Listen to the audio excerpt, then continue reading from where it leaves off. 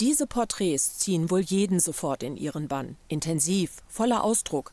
Edgar Markosian ist Geflüchteter aus Armenien, seit knapp zwei Jahren in Deutschland. Die Bilder des 23-Jährigen spiegeln vieles wider, was er bereits erlebt hat. Gezeichnet hat er sie alle mit Kugelschreibern.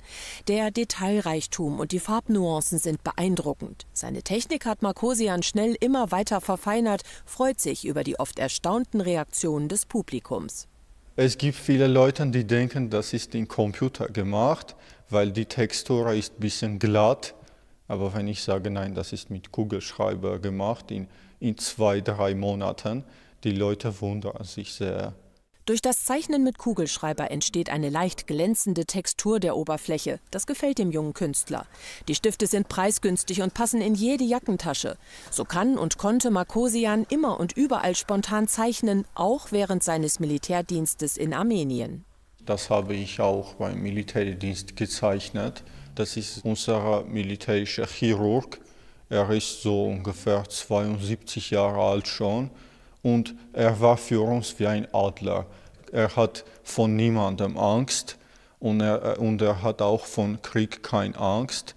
Er ist so sehr starke Person und er hat, ich denke, sehr, sehr viele Leute geholfen beim Krieg, so drei oder vierhundert Menschen. Ja, und alles kostenlos. In der Kirche in Altenholz gibt es regelmäßig ein sogenanntes Café International, ein Ort des Austauschs zwischen Geflüchteten und Einheimischen. Ingrid Heller kam hier mit dem jungen Armenier ins Gespräch. Die Chemie stimmte und so entschloss sich die engagierte Schilkseherin, den jungen Mann nach Kräften zu unterstützen. Da bin ich ganz schnell auf die Idee gekommen und habe zu ihm gesagt, du musst zur Kunsthochschule. Die Muthesius-Schule ist vielleicht eine gute Möglichkeit. Ich habe dort angerufen, um einen Termin gebeten und dann sind wir zusammen zur Muthesius-Schule gegangen.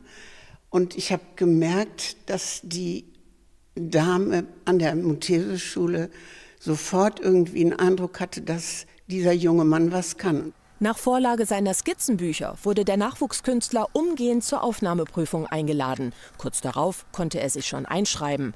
An der Kieler Kunsthochschule soll das Talent der Studierenden gefördert, die künstlerische Persönlichkeit gestärkt werden. Seine Art von Kunst hat eine hohe Akribie, eine Geduld, eine, eine Detailgenauigkeit, die fast schon anachronistisch zu dieser Zeit ist, wo alle immer irgendwie schnell, schnell irgendwie was machen, hinzwitschen, wegzwitschen, keine Aufmerksamkeitsspanne haben. Und da hat Edgar, äh, setzt da ganz andere neue Akzente.